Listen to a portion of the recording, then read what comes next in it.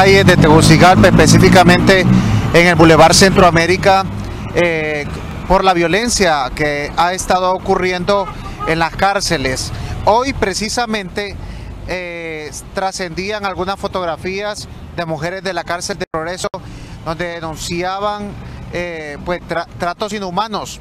Esperanza Mejía es miembro colectivo Magdalena, Magdalena para que nos pueda explicar eh, y expresar el repudio que ustedes sienten por estas acciones.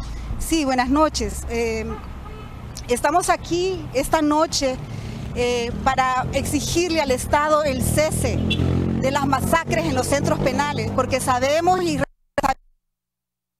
el Estado por estas, estos asesinatos que han ocurrido en estos centros penales en, en diciembre, incluyendo a niños que estaban bajo la custodia del Estado en el centro Renaciendo.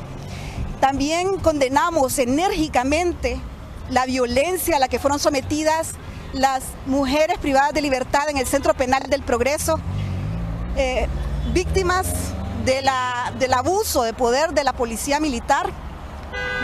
Y también estamos aquí para solidarizarnos con las familias que esta Navidad están enlutadas ¿verdad? por la violencia que hay en los centros penales. Exigimos al Estado que ponga en práctica medidas adecuadas, restaurativas para la rehabilitación de las personas privadas de libertad. Exigimos también un sistema de justicia imparcial, transparente, que nos permita además también tener una justicia oportuna. La gente recibir merece, con dignidad y respeto a sus derechos humanos. Esto no es solo contra las mujeres, es, hablamos de violencia contra hombres, contra mujeres, contra personas específicamente que se encuentran privados de su libertad y ustedes consideran que han sido tratos crueles, inhumanos.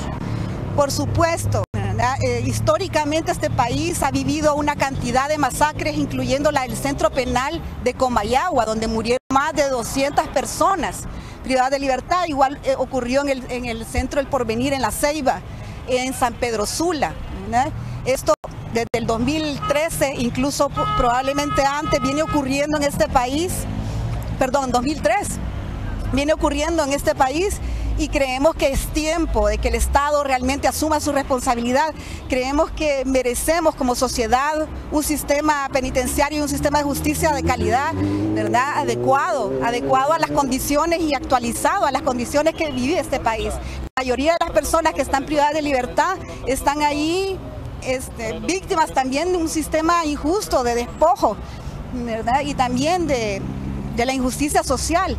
Eh, muchos de ellos podrían estar fuera si, se aplicaran otras medidas conciliadoras también. ¿De qué?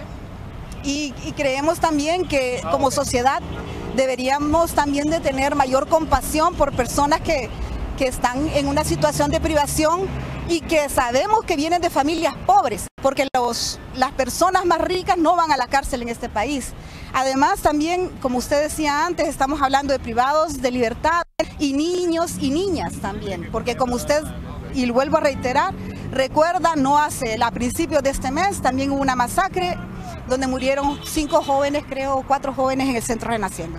Perfecto, muchísimas gracias a Esperanza Mejía. Y esto es lo que ocurre en la capital de la República, donde ya se pronuncian en contra de la violencia en diferentes centros penales del país. Con este informe y con el apoyo en Cámara de Sacasco, retornamos con ustedes estudios principales.